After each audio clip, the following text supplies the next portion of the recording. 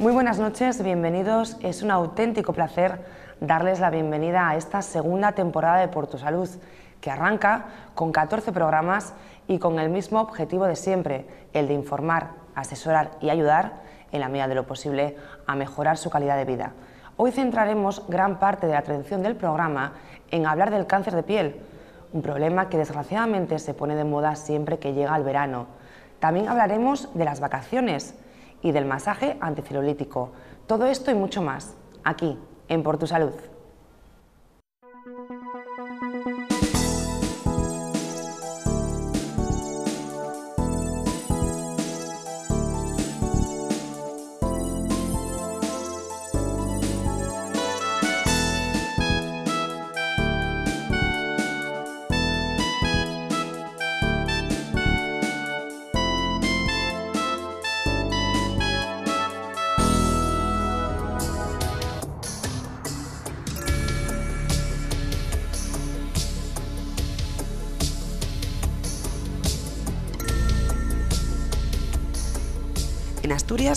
La tasa de mortalidad provocada por el cáncer de piel maligno, más conocido como melanoma, se ha triplicado en las dos últimas décadas.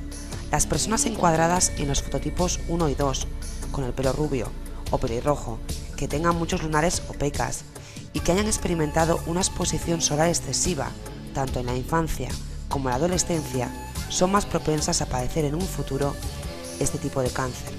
Está claro que siempre es mejor prevenir el cáncer que tratarlo. Nuestro estilo de vida puede prevenir o bien favorecer su aparición. En nuestra mano está. Aquí, en Por tu Salud, intentamos darle consejos para una vida sin cáncer.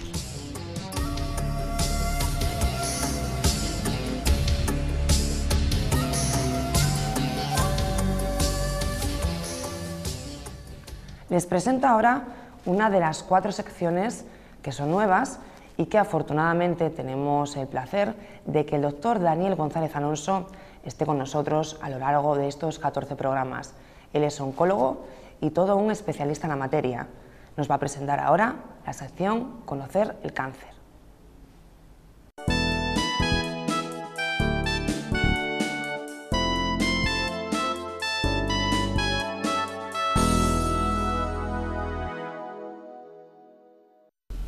Por tu salud se estrena secciones y el encargado de llevarlas será el doctor Daniel González Alonso, oncólogo de la Clínica Valbuena, coordinador de la Unidad del Dolor, a quien damos la bienvenida por tu salud. Daniel, es un placer que estés aquí. Muchas gracias por invitarme. Bueno, él estará con nosotros toda esta temporada y esperemos que pues, sea una tercera, cuarta, etcétera. Depende de la experiencia que tengamos, pero promete, promete. Bueno, Daniel, pues vamos a comenzar. ¿El cáncer de piel es una enfermedad o son varias?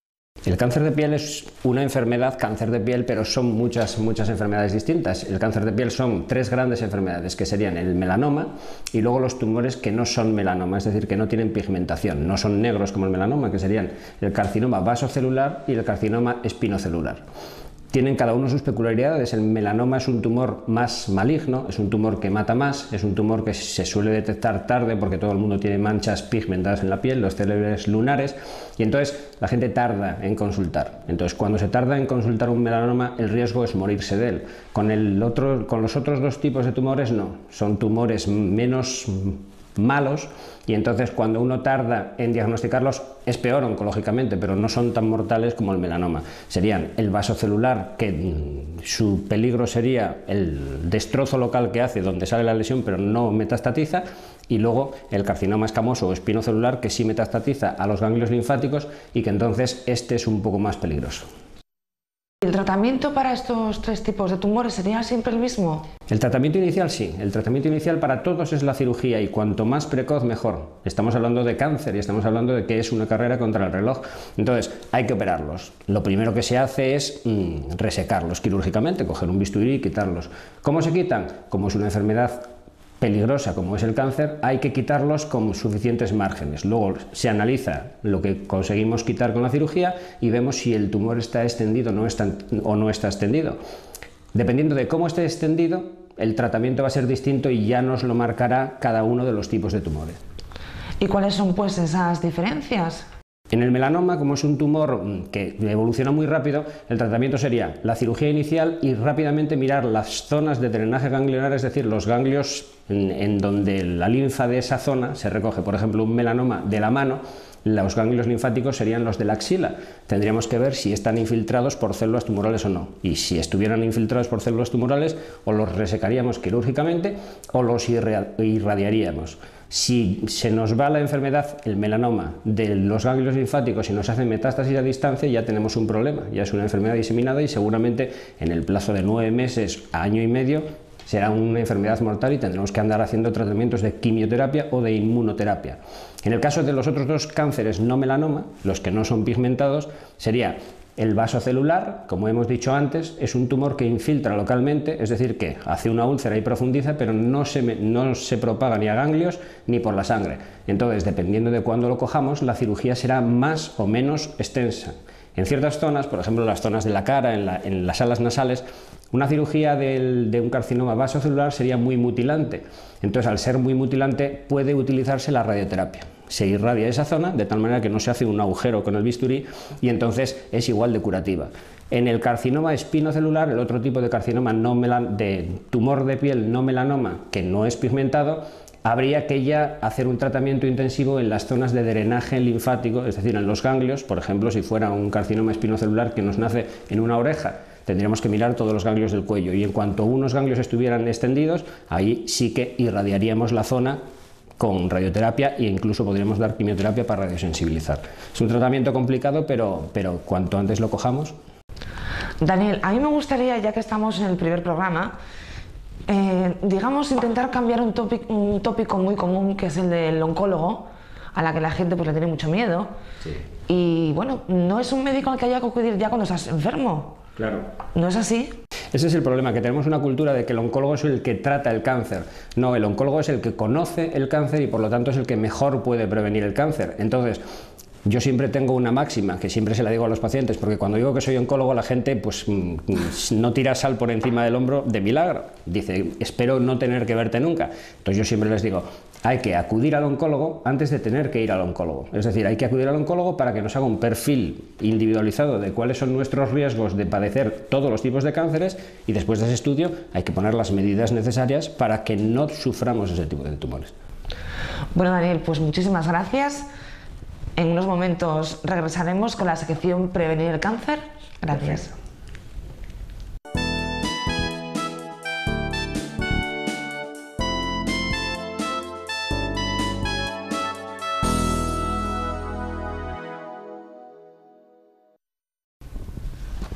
Bueno, Daniel, continuamos con la siguiente sección. La primera pregunta es obvia. ¿Cómo podemos prevenir el cáncer? El cáncer tiene dos escalones, bueno, tres escalones de prevención. Nosotros nos vamos a ocupar en toda esta serie de programas que, tenemos preparada para ustedes vamos a preocuparnos de los dos primeros escalones de la prevención. Sería la prevención primaria, es decir, no hay cáncer y nosotros lo que tenemos que hacer es evitar los factores de riesgo que nos ponen, valga la redundancia, en riesgo de padecer ese cáncer.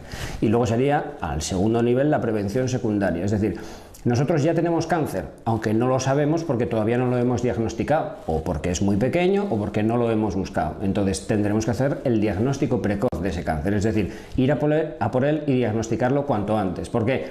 Porque, como ya hemos dicho muchas veces, cuanto más tarde se llega al cáncer, más posibilidades hay de que no se salga de esa enfermedad. Atendiendo a la prevención primaria, ¿cuáles serían los factores de riesgo que incidirían para padecer cualquiera de esos tres tipos de cáncer que nos habías comentado?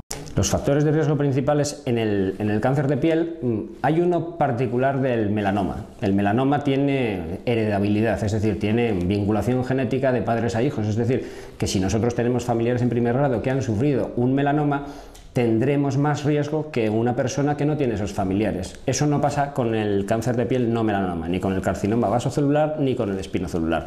Y para todos el factor de riesgo principal sería la radiación solar, los rayos ultravioleta. Entonces, los rayos ultravioleta agreden la piel, agreden la piel de una manera mm, crónica, es decir, nos exponemos durante mucho tiempo y entonces mm, entramos en la categoría de riesgo de padecer el cáncer de piel no melanoma, es decir, el que no está pigmentado, tanto el vasocelular como el espinocelular. Y luego las exposiciones que son ahora muy típicas, que son quemarse en la playa, es decir, exposiciones cortas pero muy intensas, esas nos ponen en mucho riesgo de melanoma y mucho más si nos pasa antes de los 18 años. Ahora que ya estamos en verano y la gente pues va a la playa, ¿cómo podemos tomar el sol sin riesgos? Pues tomándolo parece mentira y es una obviedad, pero de una manera inteligente. Es decir, el sol, la radiación solar es peligrosa y como toda sustancia peligrosa tenemos que tratarla con cuidado. Entonces, Empezaríamos el verano, cuando tenemos la piel blanca porque no nos hemos fotoexpuesto durante el invierno, con una toma de sol progresiva, tanto en tiempo como en intensidad. ¿Cómo se gradúa la intensidad de la toma de sol? Eligiendo las horas a las que nos exponemos al sol. ¿Cuándo no hay que tomar el sol? Sobre todo en las primeras exposiciones del verano, entre las 11 de la mañana y las 3 o las 4 de la tarde. Es cuando el índice de radiaciones solares es máximo. Entonces, a esas horas no ponerse al sol y antes de esas horas o después, después de las 4 de la tarde, ponerse al sol al principio poco tiempo y con una crema con un factor de protección solar muy alto. Y luego ya cuando vayamos cogiendo bronceado, es decir, que nuestra piel ya tiene el mecanismo de defensa contra la radiación solar, que es el color, que es la melanina que producen esos melanocitos, podemos ir aumentando el tiempo de exposición y disminuyendo el factor de protección solar de esas cremas. Eso, sumado a no cometer los grandes errores que se cometen de estar horas y horas en la playa dando vuelta y vuelta para coger sol y evitar sobre todo el tema de las quemaduras, simplemente con esa regla básica podríamos evitar muchos tumores. Y si esa prevención primaria falla, ¿cómo podríamos atender a la prevención secundaria sin que sea demasiado tarde? Pues siendo conscientes de que realmente, como siempre tomamos el sol a lo largo de nuestra vida, ya sea en la playa o ya sea caminando por la calle, tenemos que tener cuidado con nuestra piel. Tenemos que conocer nuestra piel porque nuestra piel es un órgano del cuerpo que constituye entre el 12 y el 16% del mismo, entonces es un gran órgano, son casi dos metros cuadrados de piel. Tendremos que conocer todas las manchas que tenemos en la piel. ¿Cómo se conocen las manchas que tenemos en la piel? mirándolas. Nos la podemos mirar nosotros, el autoexamen de la piel, en las zonas que no lleguemos con un espejo podemos utilizarlo de ayuda, o en caso de que tengamos una lesión sospechosa o que confiemos más en, la vista del médico, ir al médico y que nos revise absolutamente todos los centímetros cuadrados de nuestra piel. Eso se llama hacer un mapa de piel de tal manera que se recoge documentalmente, nosotros aquí en la clínica Valbuena lo hacemos, todas las lesiones, sean benignas, malignas, tengan buena pinta, lo que se dice buena pinta o mala pinta, todas las documentamos en foto de tal manera que con una fecha determinada tenemos el archivo de imagen de esa lesión y sabremos si evoluciona o no evoluciona. Ya por último, Daniel, en ese autoexamen, ¿cómo puede saber una persona que tiene una lesión maligna o benigna? Pues muy fácil. Eh, todas las academias de dermatología y todos los organismos internacionales recomiendan una regla mnemotécnica, es decir, un truco para que la memoria se acuerde de cómo saber si una lesión tiene buena pinta o mala pinta. Nosotros a nivel de un paciente normal o de persona que no tiene conocimientos médicos no vamos a saber si esa lesión es buena o mala, pero sí que nos va a dar eso de la mala pinta. ¿Cuándo nos dan mala pinta? Pues es el A, B, C, D y E de las lesiones. El A es que sea una lesión que sea asimétrica, es decir, que no tenga una forma geométrica simétrica como puede ser un círculo, una elipse o un rectángulo, serían formas raras como si fuera pues, una forma de plátano, una forma de, de N, una forma muy rara. La B querría decir los bordes, los bordes que no mm, son buenos o no tiene pinta de ser la lesión buena son los bordes que son muy irregulares, son bordes espiculados en forma de mm, como de tentáculos, son bordes que tienen eso, mala pinta, no son bordes lineales, no son bordes redonditos, que son los bordes que dirían que son los de las pecas de toda la vida redondos que parecen de tener buena pinta. La C, el tercer parámetro, sería el color. El color tiene que ser homogéneo, es decir, igual en toda la lesión, es decir, en toda la zona de la mancha. Si en unas zonas es más negro, en otras es más marrón, en otras es incluso blanco, tiene un halo rojo, es decir, es multicolor, eso ya nos dice que puede ser una cosa mala. La D sería el diámetro. Entonces, lesiones de hasta 5 o 6 milímetros de diámetro, es decir, medio centímetro, no tendrían, no impresionarían de que tuvieran mala pinta. Lesiones con una mala pinta con los tres parámetros que hemos dicho antes y que además tengan un centímetro, centímetro y medio, ya hay que consultarlas porque ya son suficientemente grandes. Y luego la E que se ha incorporado últimamente es la E de evolución. Por eso es tan importante lo que hemos comentado antes del mapa de piel.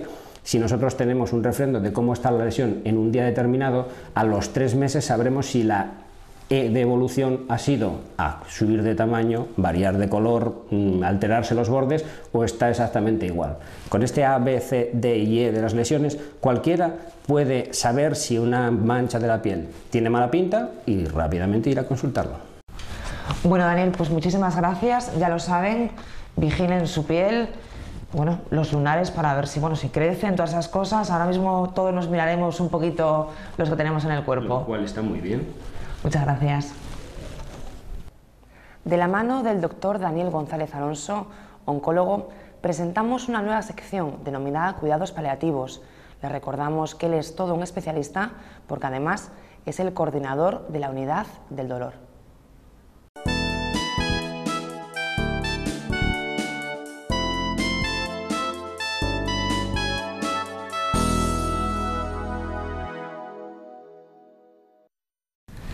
Doctor González, la primera pregunta es a modo de introducción. ¿Qué son los cuidados paliativos?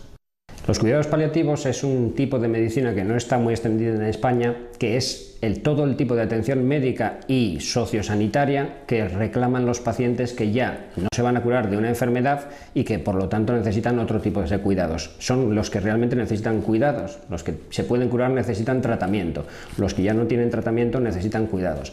Entonces, estos cuidados, mm, ¿quién los proporciona? Normalmente en España lo proporcionan los médicos de cabecera, algo los oncólogos y ya está habiendo unidades de cuidados paliativos. La filosofía es que con los tratamientos curativos de la medicina curativa se tiende a alargar la vida. En este caso ya la vida no se alarga, sino que lo que hay que hacer es ensancharla, mejorar esa calidad de vida. Entonces, en la medicina tendríamos tres niveles. Empezaríamos previniendo, la medicina preventiva, intentaríamos curar cuando la enfermedad ya está presente, la medicina curativa, que es el 99% de la medicina, y luego, cuando ya no podemos curar, hay que cuidar, la medicina paliativa. Aunque pueda parecer una pregunta muy obvia, ¿quiénes son los destinatarios de estos cuidados? Porque no solo es el paciente, ¿verdad? Hombre, el destinatario principal es el paciente, el paciente que ya es incurable, es decir, que no tiene mm, posibilidades de curarse de la enfermedad que le aqueja. También el destinatario es la familia, porque en los cuidados paliativos la familia está cuidando a un paciente que realmente se va a morir. Eso desde el punto de vista psicológico es una situación muy estresante y además al no mm, ser candidato ya a tratamientos médicos, la familia no sabe qué cuidados les puede dar. La familia se obsesiona con un cierto tipo de cuidados como puede ser que coma, que coma siempre que coma, que beba, que beba, que se levante, que no se levante. Entonces en todo este tipo de atención hay que adiestrarles mucho, porque si no se les adiestra la familia va a tener una cantidad de ansiedad importante y eso les va a hacer ser peores cuidadores. ¿Qué características debe poseer el enfermo oncológico para poder recibir estos cuidados? Hombre, el enfermo oncológico lo primero que tiene que ser para mm, ser candidato a los cuidados paliativos es tener la característica de incurabilidad, es decir, que su enfermedad ya no es tributaria de tratamientos que intenten curarle. Lo que decíamos antes de que ya no le vamos a alargar la vida. Entonces va a ser un enfermo que por esa misma característica de que no se va a curar va a tener un grado de ansiedad importante y va a empezar a tener fallos en cascada de sus órganos y de sus funciones corporales. Todos estos fallos le van a condicionar la aparición de muchos síntomas. Entonces, la parte principal de los cuidados paliativos va a ser el control de esos síntomas. El principal, el dolor, luego la alimentación, pues el tipo de úlceras que le salen al paciente que está encamado, si deambula o no deambula, si se queda muy caquético, que es perder absolutamente toda la masa muscular, todo ese tipo de síntomas ¿Qué van a hacer? Nosotros si los tratamos vamos a aumentar su calidad de vida, no le vamos a curar más, pero por lo menos le vamos a permitir que esos momentos finales de su vida los viva mucho mejor. Y con respecto a la familia, ¿qué le aportan estos cuidados paliativos a la familia? Como decíamos antes, la familia realmente mm, es la encargada principal de los cuidados al enfermo. Entonces, son unos cuidados que no saben ni cuáles son ni cómo hacerlos. Toda la información que le demos a la familia mm, le liberará de la ansiedad de no saber cómo le está cuidando. Y aparte hay una característica principal que al ser el cuidador de la familia de un, de un familiar al que quieres, si le cuidas bien, en el momento en el que el familiar fallezca, que acabará falleciendo, tú te quedas con la sensación de decir, lo he hecho todo. No hay una cosa peor para una familia de un paciente terminal, de un paciente que se va a morir, que la sensación de decir, una vez que se ha muerto es, hice todo lo que podía haber hecho, podía haber hecho más, Hice todo de la mejor manera que podía haberlo hecho. Esa es la parte de asesoramiento a las familias que tienen los cuidados paliativos, además de formar al cuidador principal, que es el que realmente es nuestro brazo armado en, la, en el domicilio. Entonces, una vez que fallezca desgraciadamente el enfermo, ¿cómo seguirían esos cuidados? Hombre, la gente confunde y dice una vez que fallezca el enfermo ya los cuidados terminan. No, porque una vez que fallece el enfermo entramos en lo que se llama la fase del duelo, que viene del latín dolus, que es el dolor. Es el dolor de los familiares que se han quedado y el dolor de la pérdida. Entonces, tendremos que ayudarles también a enfocar esta pérdida. ¿Por qué? Porque si no van a hacer lo que se llama un duelo patológico, es decir, no van a superar la pérdida de ese familiar. La primera cosa que podemos hacer, y de hecho tendremos un programa que dedicaremos íntegro, al duelo, es intentar que se sientan útiles mientras el paciente está vivo y luego acompañarles con mucho refuerzo psicológico para que lleven mucho mejor esta pérdida, de tal manera que una vez que nosotros acabemos los cuidados, tres, cuatro, seis meses después del fallecimiento, la unidad familiar se haya reintegrado y ya no haya problemas mm, que estén sin solución. Bueno, Daniel, pues hemos terminado por hoy, por este programa. Te esperamos la semana que viene que hablaremos del cáncer de mama. Están encantados de estar con vosotros. Muchas gracias. Damos paso ahora a publicidad y a la vuelta vamos a ver cuál es su opinión acerca del tema del día, el cáncer de piel.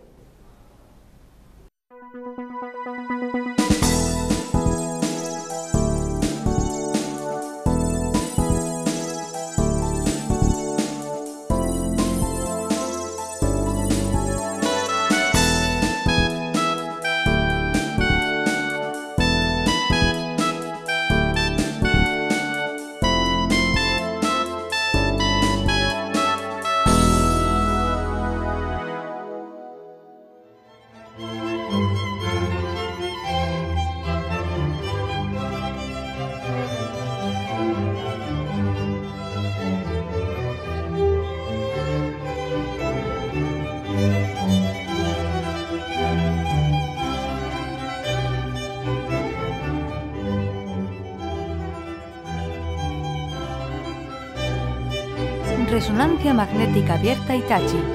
En Clínicas por tu Salud. Calle María Zambrano 1, Avilés. Teléfono 985 52 61 62.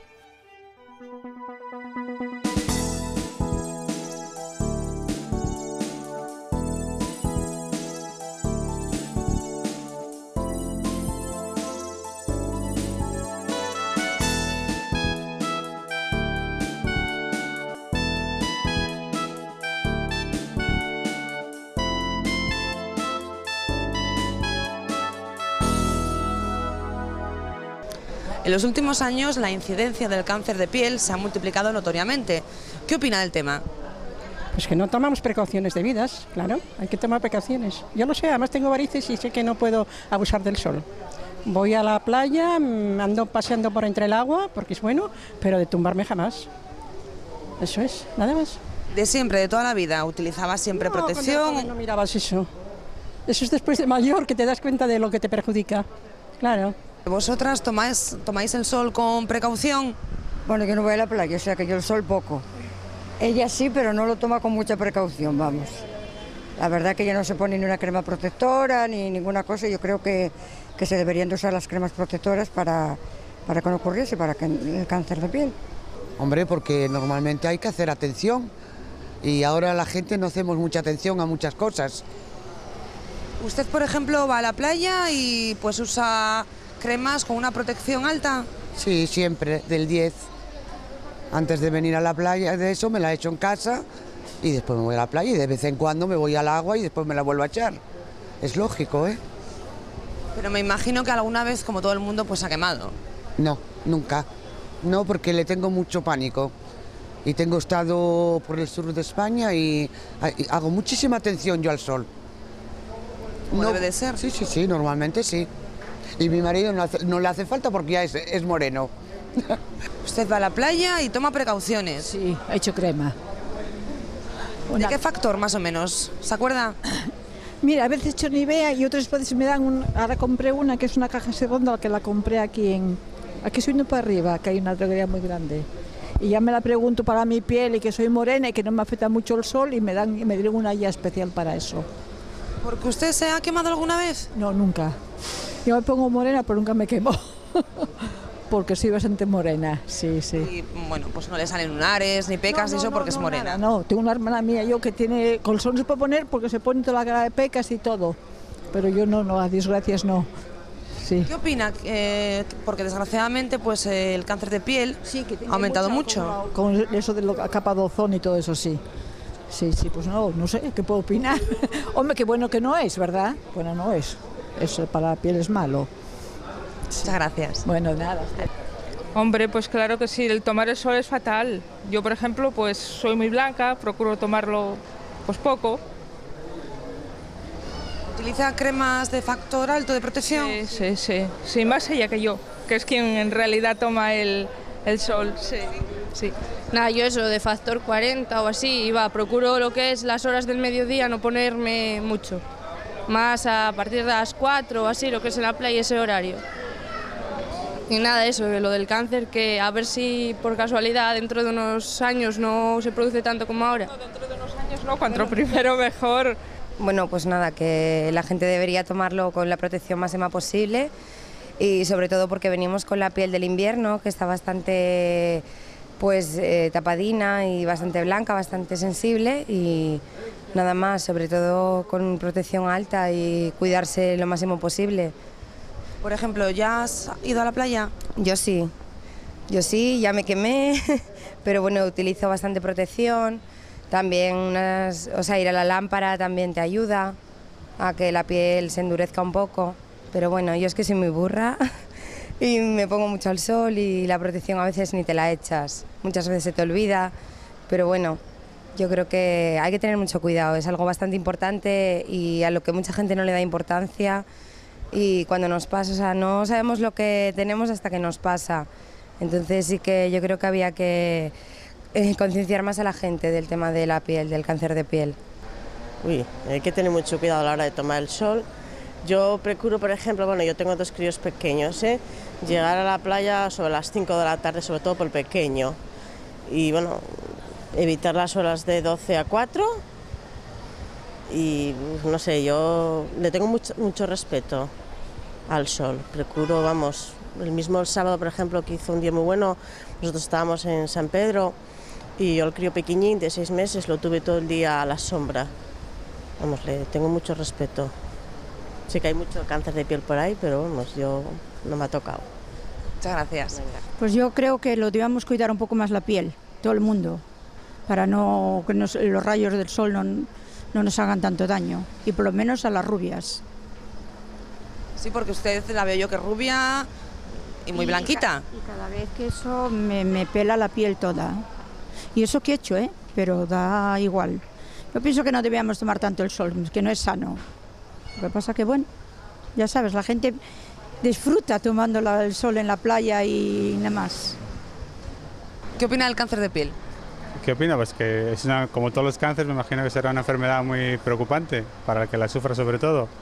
Y para los que estamos expuestos a ello, pues que habrá que tomar las precauciones necesarias para no tenerlo.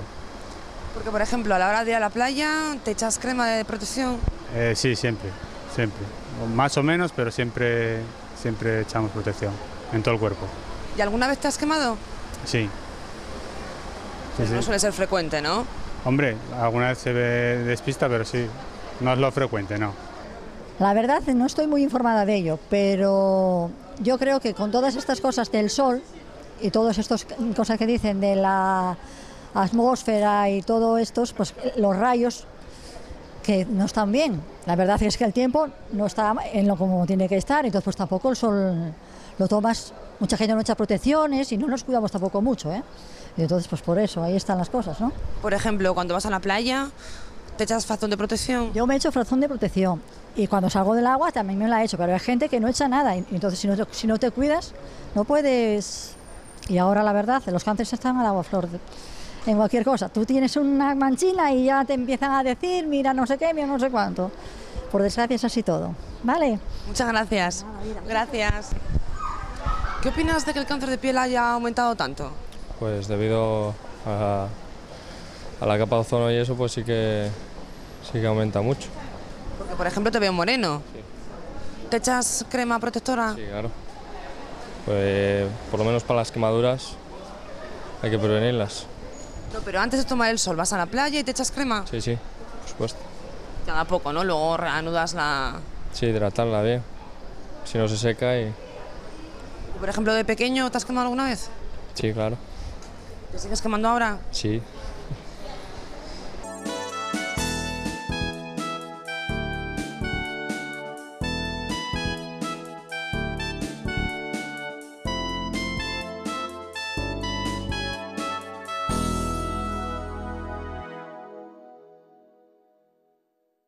Rosa Gómez, psicóloga de Clínica Balbuena, nos abordará el tema de las vacaciones desde un punto de vista desconocido.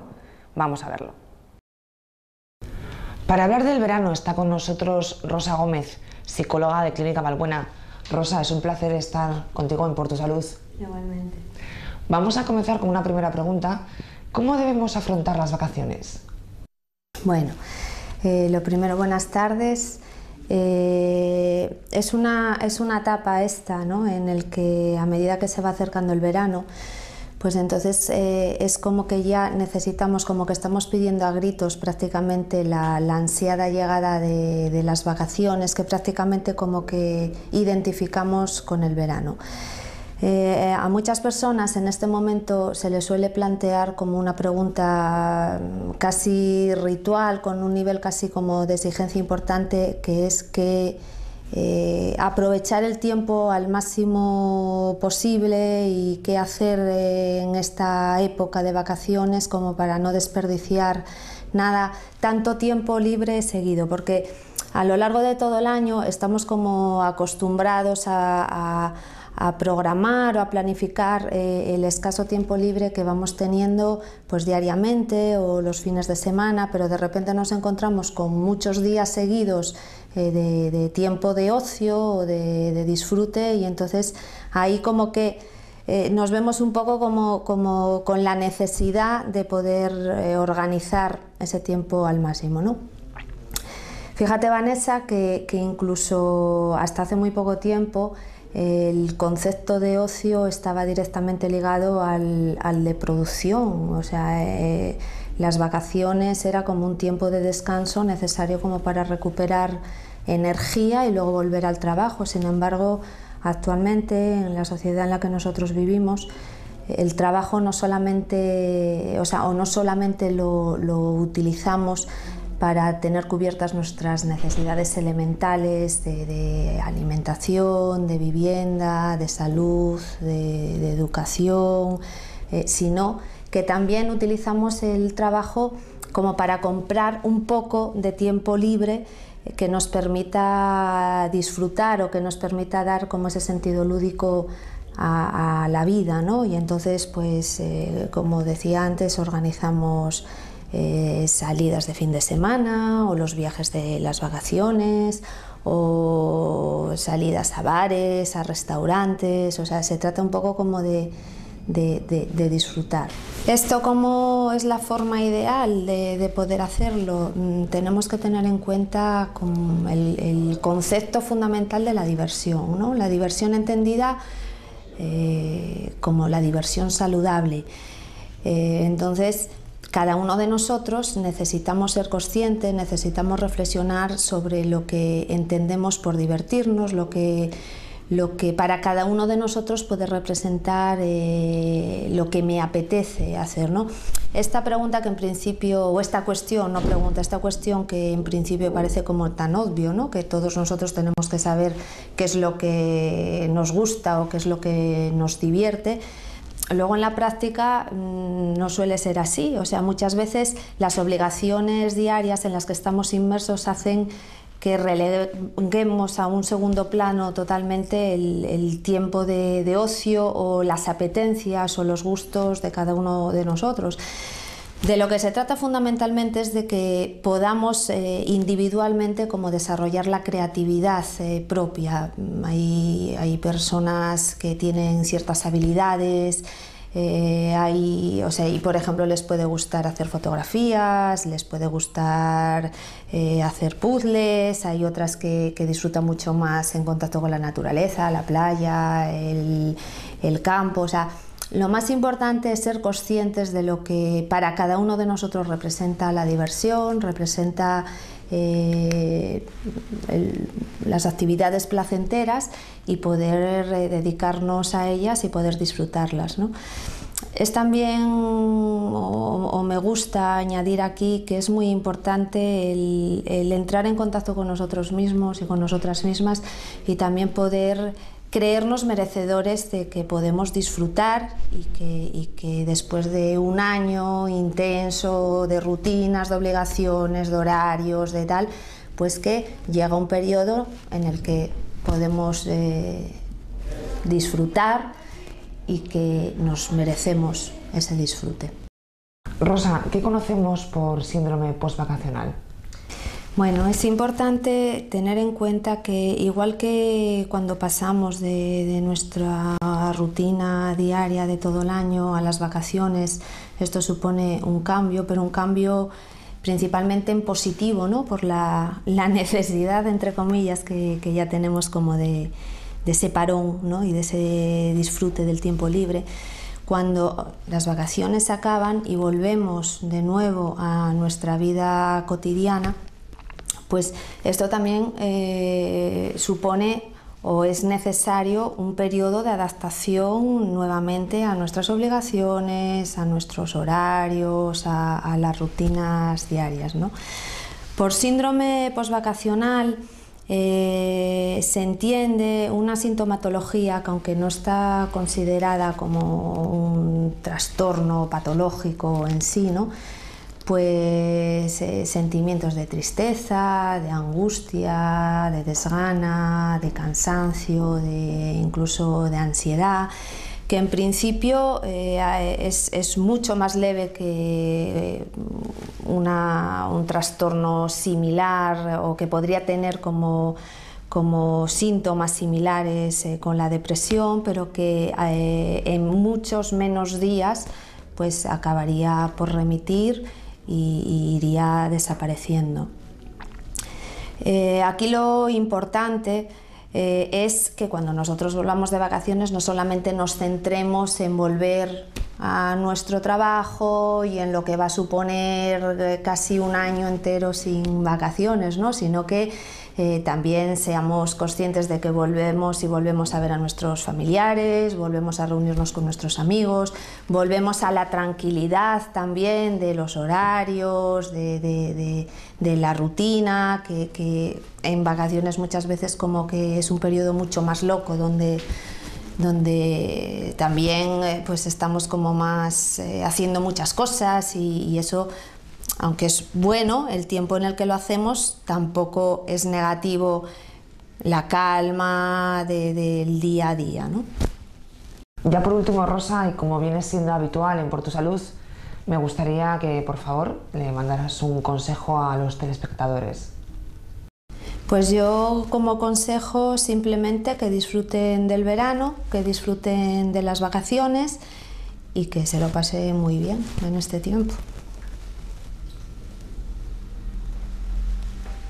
La celulitis es un problema muy frecuente que afecta tanto a mujeres como hombres.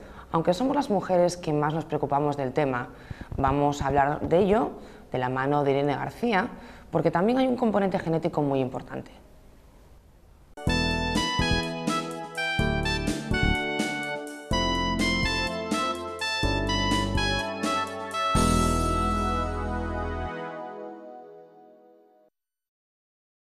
Una temporada más está con nosotros Irene García, responsable de fisioterapia de Clínica Valbuena.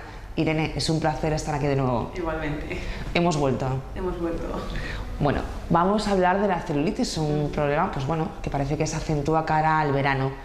¿Cómo podemos definirla? Porque no es solo un problema estético, ¿no? No, para nada. Eh, la celulitis es una alteración del tejido conjuntivo que se produce por una acumulación de grasa, de líquidos, de toxinas. Entonces lo que va a provocar es que la piel pues, tenga un aspecto irregular, que aparezcan una serie como de bultitos, que es lo que se conoce como piel de, naranja. No se puede considerar solamente un problema mm, estético o como un concepto estético corporal, debido a que afecta al tejido intersticial y a los pequeños vasos sanguíneos, lo que va a provocar una alteración de la circulación y el drenaje fisiológico. Porque existen varios tipos de celulitis, ¿cuáles son? Sí, existen varios tipos, depende del grado y de lo crónica que sea la lesión, lo que va a afectar lógicamente a los resultados. Depende también si es una celulitis localizada o generalizada, si es edematosa, flácida, dura, depende también si es en gente sedentaria, si es en gente deportista y lógicamente esto va a afectar pues, en el tipo de tratamiento. Irene, ¿qué puede provocar la celulitis? Bueno, eh, principalmente es un problema que afecta sobre todo a las mujeres hay un factor hormonal, digamos, porque la actividad de los estrógenos pues, afecta al reparto y al volumen del tejido adiposo. Hay un factor congénito, no solamente por lo heredado, sino también por los hábitos aprendidos en el estilo de vida diario. La alimentación influye, el tipo de dieta, porque los trastornos digestivos pues, van a afectar al, drenaje. También el, el, estrés, el nerviosismo afecta mucho porque puede producir un éxtasis circulatorio y otra serie de factores. O sea, sería, no hay una causa, sino que son varias las que pueden afectar. ¿Cuál sería entonces el tratamiento? Es importante realizar un tratamiento precoz, puesto que es algo crónico que va evolucionando lentamente. Entonces eh, sería una combinación de varios, tanto para casa, es decir, hay que cuidar la alimentación, que sea una alimentación pues, rica en minerales, en vitaminas, hay que cuidar la sal porque nos va a potenciar la retención de líquidos, hay que potenciar también pues, el ejercicio físico, entonces vamos a combinar varias cosas. En la clínica pues, haremos masajes fuertes para drenar, para estimular la circulación, haremos también, eh, le enseñaremos al paciente ejercicios específicos, por ejemplo, para celulitis en zonas más localizadas. Si está muy localizada podemos utilizar los ultrasonidos también, incluso eh, los vamos combinando con cremas anticelulíticas y una serie de, cosas. Va a depender también del tipo, como decíamos antes, del tipo de celulitis y del tipo de persona que, que la padezca. Bueno, Irene, pues hasta la semana que viene. Muchas gracias. Muchas gracias. Además, la semana que viene hablaremos del drenaje linfático, que también tiene mucha relación con este tipo de tratamientos.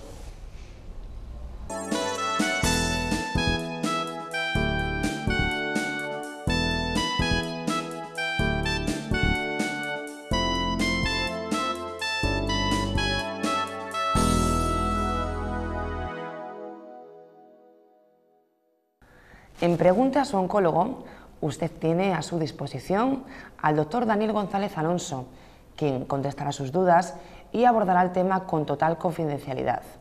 Las preguntas que salgan serán contestadas en el programa, pero nunca diciendo quién es el destinatario de las mismas. Vamos a verlo.